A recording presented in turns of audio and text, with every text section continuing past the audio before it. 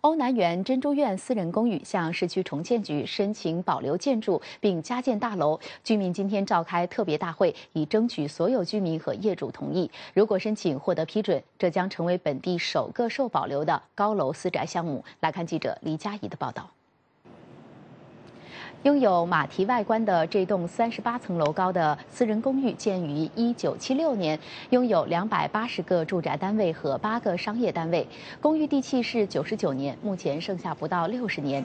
由于珍珠苑有不错的地理位置，靠近欧南园地铁站，并位于半山腰，居民希望保留建筑、延长地契并加建大楼。不过，需得到居民百分百的同意，市区重建局才会考虑申请。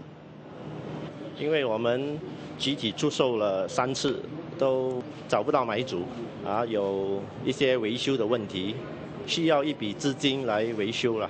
就是说，去申请啊额外的 GFA 发展商的资金可以进来，让我们翻新整个大楼，然后可以建新的二十七层楼的配套楼，我们还可以延长它的屋期。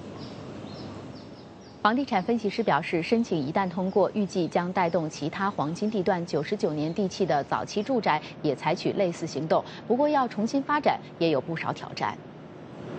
旧的建筑物有没有一些还没使用到的这个容积率？其他的因素，比如说，如果是他们要重建的话呢，是谁来负担那费用？